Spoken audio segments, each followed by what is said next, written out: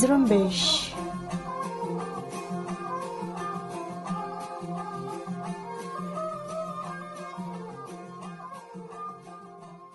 ये रेडियो जुम्बिश उर्दू की आवाज़ है आज दिसंबर की उनतीस तारीख मंगल का दिन और साल 2020 है और मैं हूँ आपकी मेज़बान सारिन बलोच हरनाई में पाकिस्तानी फोर्सेस ने मुसल्ह अफराद के हमलों के बाद एक वसी ऑपरेशन शुरू की है, जिसमें हेलीकॉप्टर हिस्सा ले रहे हैं। झाऊ से काबिज पाकिस्तानी फोर्सेस ने एक शख्स को जबरी तौर पर लापता किया। ईरान में पाँच बलोचों को मुख्तलिफ़ इल्ज़ाम के तहत फांसी दे दी गई। के पी के के इलाके खैबर में पी टी एम की तरफ़ से जलसयाम मुनद किया गया। ये थे चंद अहम खबरों की सुर्खियाँ।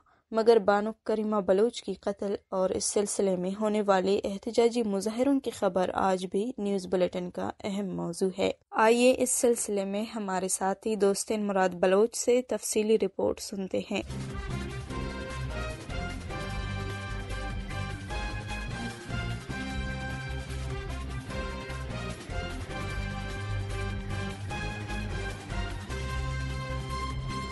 बलोच नेशनल मूवमेंट के रहनमा बानो करीमा बलोच की कत्ल के खिलाफ एहतजाज का सिलसिला वसी होता जा रहा है। पीर के रोज बानो करीमा बलोच की कत्ल के खिलाफ बांग्लादेश, तुम, फोरमाड़ा, गड्डानी और वाशुक में एहतजाजी मुजाहरे किए गए, जबकि तुम्प और आवारण में काबिज पाकिस्तानी फोर्सेज ने एहतजाजी मुजाहरे करने नहीं दिया। दूसरी तरफ़ बलूच नेशनल मूवमेंट के secretary general doctor Murad Baloch ने तमाम मकातब फ़िक्र का शुक्रिया अदा किया, जिन्होंने बानो करीमा बलूच की कत्ल के खिलाफ आवाज़ उठाई।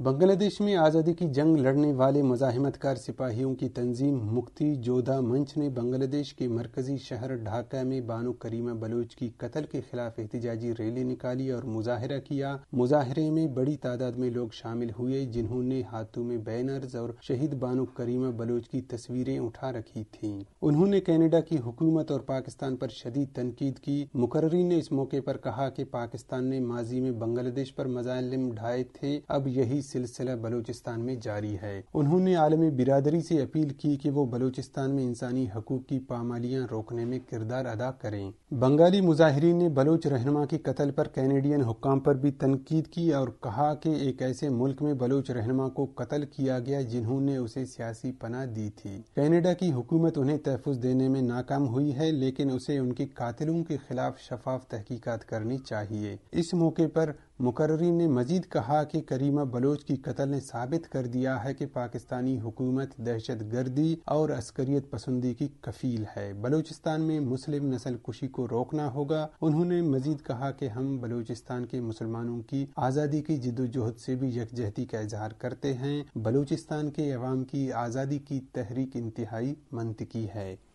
मुक्ति जोधा मंच ने करीमा बलोच के लिए इंसाफ का मुतालबा करते हुए बांग्लादेश की वजारत खारिजा पर ज़ोर दिया कि वो कनाडा में सियासी कारकुन के कत्ल और बलूचिस्तान में मुस्लिम नस्ल कुशी रोकने के लिए आलमी राय आमा हमवार करे। बसूरत दीगर बांग्लादेश मुक्ति जोधा मंच जल्द ही एक सख्त प्रोग्राम का ऐलान करेगी। मुक्ति जोधा मंच के मुजाहरे की तफसीली रिपोर्ट आप हमारी वेबसाइट जुरम्बिश डॉट कॉम पर पढ़ सकते हैं।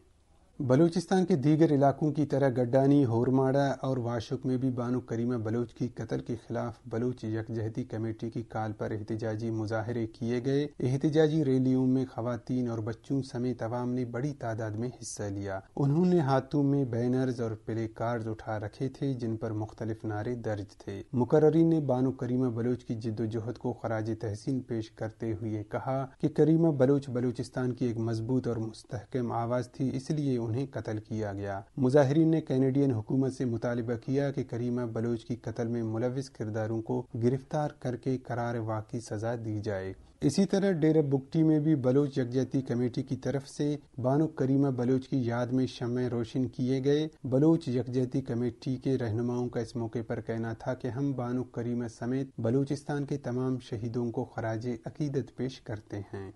काबिज पाकिस्तानी फोर्सेस की तरफ़ से रोके जाने के बावजूद बानो करीमा बलोच के आबाई इलाके तुम्प में रैली निकाली गई और एहतजाजी मुजाहरा किया गया। एहतजाजी रैली पुराना पेट्रोल पंप से होते हुए बाज़ार पहुँची, जहाँ जलसे आम की शक्ल इख्तियार की। मुजाहरे में शरीक लोगों ने बानो करीमा बलोच और बलोच शहदा के नाम पर नारे लगाए और उनकी जिद्दोजहद और फ़िक्र से वाबस्तगी का इजहार किया। इस दौरान पाकिस्तानी फोर्सेज ने पुरमन मुजाहरीन को इकट्ठा होने से रोका और जलसे की कवरेज करने वाले लोगों के मोबाइल फ़ोन छीन लिए और धक्कम पेल करके कुछ लोगों को गिरफ़्तार किया, जिन्हें मुजाहरीन ने मौके पर छुड़ा लिया। ताहम, अवामी मकाम पर जलसे की इजाज़त न मिलने पर मुजाहरीन रैली की शक्ल में सिविल अस्पताल चले गए, जहाँ उन्होंने अपना एहतजाज रिकॉर्ड करवाया।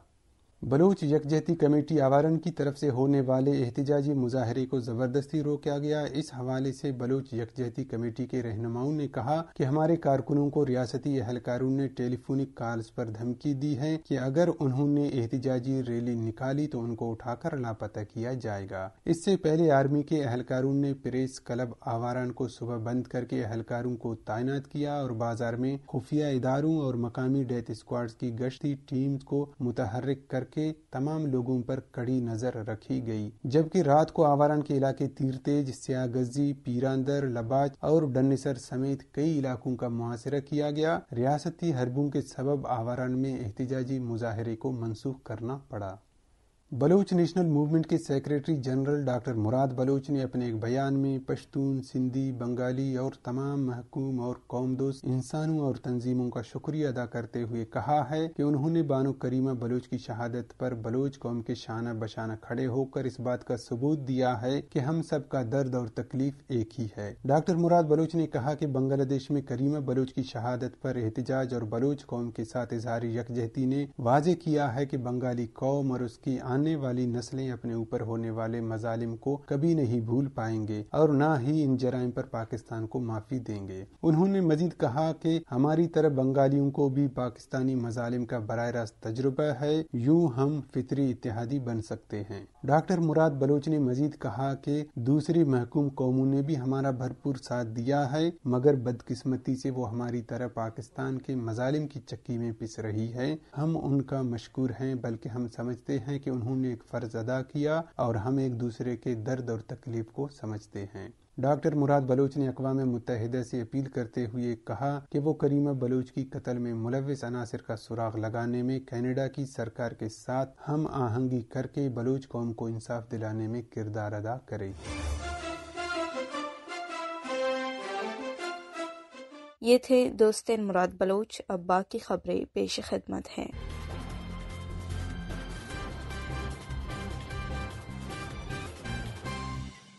हफ़्ता और इतवार के रोज होने वाले दो जानलेवा हमलों के बाद काबिज पाकिस्तानी फौज ने बोलान में बड़े पैमाने पर ऑपरेशन शुरू किया है, जो आखिरी इतलात तक जारी था। रेडियो जुम्बिश को मिलने वाले इतलात के मुताबिक बोलान में गनशेप हेलीकॉप्टर हिस्सा ले रहे हैं और मुख्तलिफ़ इलाकों में शेलिंग और बमबारी कर रहे हैं। दौरान ऑपरेशन रियासत की जमीनी फौज को पेशरफ में दुश्वारियों का सामना है। इलाकाई जराये के मुताबिक गनशेप हेलीकॉप्टरों को जमरूद तलांग और कमान के पहाड़ों पर गश्त समेत शेलिंग करते हुए देखा गया है, जबकि हरनाई मेन कैंप में फोर्सेस की मजीद नफरी समेत हेलीकॉप्टर पहुँच गए हैं। इसके अलावा झालावान, पनकी, लोनी, मेजदारी समेत गिरदनवा में इतवार के रोज से मुख्तलिफ़ इलाकों में फोर्सेज मुसलसल मार्टर गोले फायर कर रहे हैं और जमीनी फौज पेशकदमी कर रही है। ताहम, ताहल किसी किस्म की जानी या माली नुकसान की इतला मौसू नहीं हो सकी है। दूसरी तरफ़ बलोच लिब्रेशन आर्मी के तर्जुमान जींद बलोच ने इतवार के रोज बोलान के इलाके शहरक जहलावान तनक के मकाम पर पाकिस्तानी फौज के काफिले पर बारूदी सुरंग से हमले की ज़िम्मेदारी कबूल करते हुए कहा है कि मस्कुरा हमले में दुश्मन फौज के दो एहलकार हलाक, जबकि कैप्टन समेत सात एहलकार जख्मी हुए। उन्होंने मजीद कहा है की बी एल ए के सरमाचारों ने फौजी काफिले को उस वक्त निशाना बनाया, जब दुश्मन हफ़्ते की शाम फौज के पोस्ट पर कब्जा करने और ग्यारह एहलकार हलाक करने वाले सरमाचारों की एलेट टीम का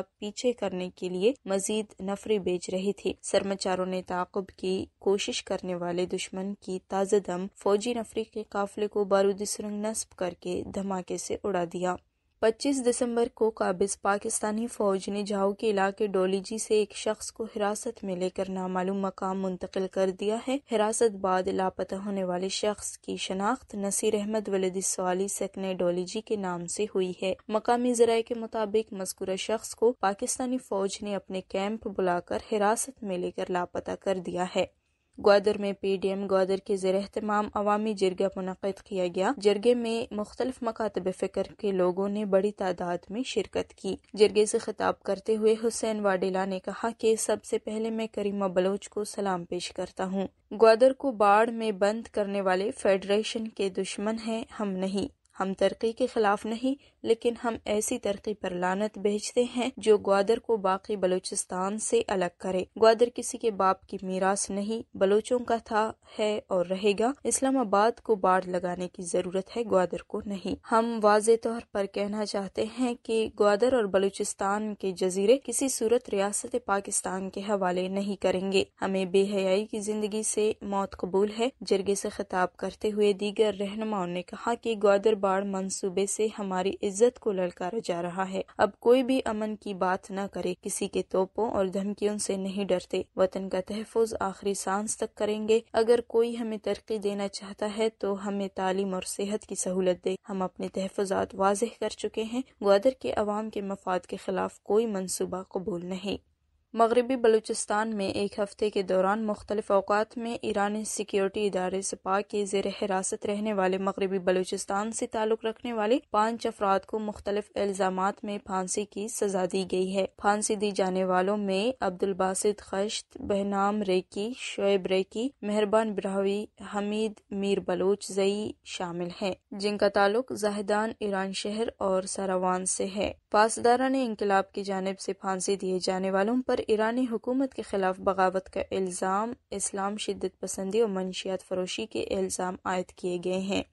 दालबंदेन में Saindak copper and gold project के मुलाजमीन और मकामी रिहायशियों का पाबंदियों के खिलाफ शदीद सर्दी में मुसलसल पाँच रोज से एहतजाज जारी है। मुजहरीन के हक में national party, Balochistan national party और बी एस ओ पंजार की तरफ़ से दालबंदेन बाज़ार में एहतजाजी रैली और प्रेस क्लब के सामने मुश्तर मुजाहरा किया गया। इस मौके पर मुकर्रीन ने सेंदक प्रोजेक्ट के मुलाजमीन समेत मकामी रिहायशियों पर कोरोना वायरस और करंतना के नाम पर नारवा सलूक की शदीद अल्फाज में मजम्मत की। उन्होंने कहा कि नौ माह से मुलाजमी को छुट्टियाँ न देना और मकामी रिहायशियों को घरों तक न छोड़ना जुल्म की इंतहा है। उन्होंने कहा कि प्रोजेक्ट इंतजामिया ने कोरोना वायरस के पैदावार चाइनीज़ बाशिंदों की नकल हरकत पर कोई पाबंदी नहीं लगाई है। सिर्फ़ मुलाजमीन को जहनी टॉर्चर बनाया जा रहा है, बलूचिस्तान से ताल्लुक रखने वाले मुलाजमीन के लिए सेंदक प्रोजेक्ट क्यूबा जेल बना दी गई है। प्रोजेक्ट पर बराजमान मखसूस लाबी खाम माल की चोरी छुपाने के लिए मुलाजमीन को तंग कर रही है। सबक वज़ीर बलूचिस्तान मोहम्मद असलम रईसानी ने रबते की वेबसाइट ट्विटर पर ट्वीट करते हुए कहा कि पाकिस्तान में जमहूरियत नहीं, बल्कि जेल मुरियत और धमकी मुरियत है। उनका कहना था कि हुक्मरान जमायतों में अरकान मुतासब बाला और फाशिस्ट अजम से लोग तंग है। बी ए पी के चौदह अरकान इस तरफ़ आने को तैयार है, लेकिन इस चीज़ ने अपने हाकिमों की धमकियों से उनको ब्लैकमेल किया है। इस हद तक के फ़ोन पे बात नहीं कर सकते हैं। उन्होंने कहा कि रियासत कमज़ोर हो रही है। दूसरी तरफ़ नेशनल पार्टी के मरकजी सदर डॉक्टर अब्दुल मालिक बलोच ने कहा कि डंडे के ज़ोर पर हुकूमत चलने वाली नहीं, खत्म की जाए। उन्होंने मजीद कहा कि एक साजिश के तहत सिंध और बलूचिस्तान के जजीरों पर कब्जा किया जा रहा है। सीपेक मनसूबे को अच्छा समझ रहे थे, अब इस मनसूबे से बलोच अवाम तकलीफ़ में है। पश्तून तहफ़ मूवमेंट के जेर अहतमाम इतवार को के पी के में खैबर की तहसील बाड़ा में शदीद सर्दी और बारिश के बावजूद जलसा आम मुनद किया गया। जलसे से मोहसन दावड़, सैयद आलम महसूद समेत पी टी एम के दीगर रहनुमाओं ने खिताब भी किया। मोहसन दावड़ ने जलसे में तुरखम बॉर्डर पर नेशनल लॉजिस्टिक्स सेल के किरदार के बारे में गुफ्तु करते हुए कहा कि उन्होंने इस्लामाबाद में एन एल सी के हवाले से हुकूमती कमेटियों से भी पूछा, लेकिन उनके पास भी कोई तसली बख्श जवाब नहीं था। मंजूर पश्तीन ने अपनी तकरीर में शिदत पसंदी और दहशत गर्दी से मुतासर इलाकों के मसाइल की तरफ़ लोगों की तोज्जा मबजूल कराई। तुर्क फौज ने इतवार के रोज शामी कुर्द मलेशिया वाईपीजी के पंद्रह जंगजुओं को हलाक करने का दावा किया है। तुर्की ने दावा किया है कि ये कुर्द जंगजू शाम के शुमाली मशरकी इलाके में एक हमले की तैयारी कर रहे थे। तुर्क वजारत दिफा ने एक ट्वीट में कहा है कि हमारे कमांडो ने वाईपीजी को शदीद धचका पहुँचाया। उसके पंद्रह जंगजू अमन बहार खत्े में जुनूब से दरअंदाजी की कोशिश कर रहे थे। उन्हें हमारे कमांडोज ने कत्ल कर दिया। दूसरी तरफ़ वाईपीजी ने इस हवाले से कोई बयान जारी नहीं की है। इसराइली फौज ने फायरिंग करके दो फलस्तीनी नौजवानों को कत्ल और एक को जख्मी कर दिया है। आलमी मीडिया के मुताबिक फलस्तीनी नौजवानों की उम्र सत्रह से इक्कीस साल के दरमियान है। फलस्तीनी वजारत सेहत की तरफ़ से जारी बयान में कहा गया है कि काबिज इसराइली फौज ने नौजवानों को जानबूझकर ताखिर से अस्पताल मुंतकिल किया, जिसके बाद ज़्यादा खून बह गया और दो नौजवान जानबर न हो सके। दूसरी जानब इसराइली फौज ने दावा किया है कि नौजवान मुसलह थे और उन्होंने चेक पोस्ट पर मौजूद पुलिस एहलकारों पर फायरिंग की थी, जिसके दिफा में की गई जवाबी फायरिंग से नौजवानों की मौत वाक़ हो गई।